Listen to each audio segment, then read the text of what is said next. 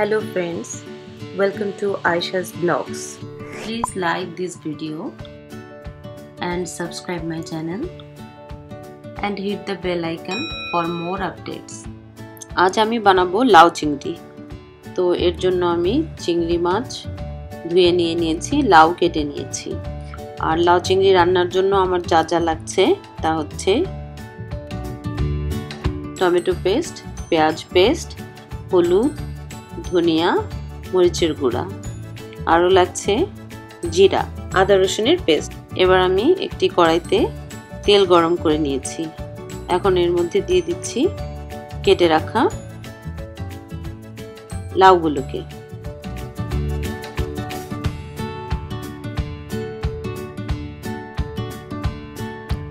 লাউয়ের টুকরোগুলোকে আমি ভালো মতো ফ্রাই করে নিব।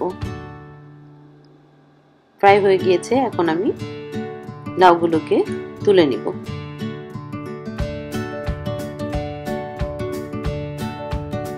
এবার আমি এই লাউ ফ্রাই করা তেলের মধ্যে দিয়ে দিচ্ছি জিরা।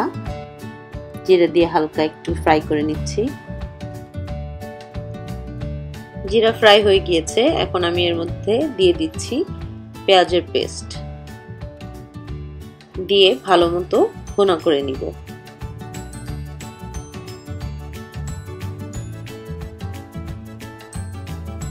পেঁয়াজ ভুনা হয়ে গিয়েছে।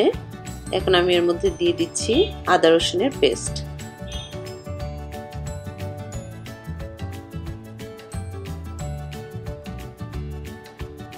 এবার দিচ্ছি টমেটো পেস্ট।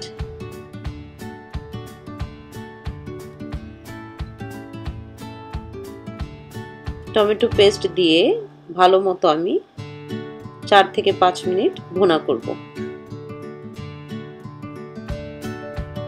ভুনা হয়ে গিয়েছে, এখন আমি সব মশলাগুলোকে দিয়ে ভালো মতো ভুনা করে নিব। মশলা, পেঁয়াজ, টমেটো ভালো মতো ভুনা হয়ে গিয়েছে, এখন আমি দিয়ে দিচ্ছি পরিমাণ মতো লবণ।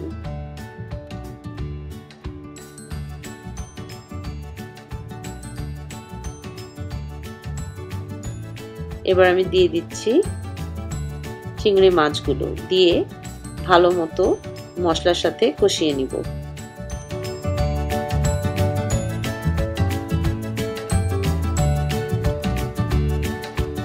মাছ কষানো হয়ে গিয়েছে, এখন আমি এর মধ্যে দিয়ে দিব ভেজে রাখা লাউয়ের টুকরোগুলোকে।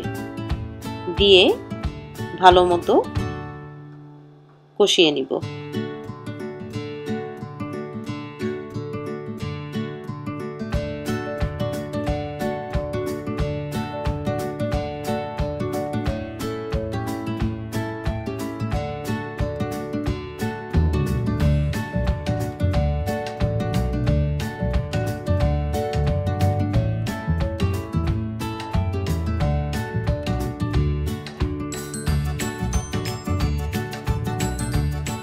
কষানো হয়ে গিয়েছে, এখন আমি দিয়ে দিচ্ছি পরিমাণ মতো পানি।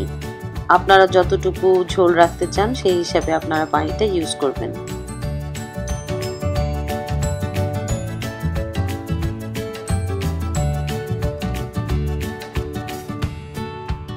পানি দিয়ে আমি চার পাঁচ মিনিট লাউ চিংড়িগুলোকে রান্না করব।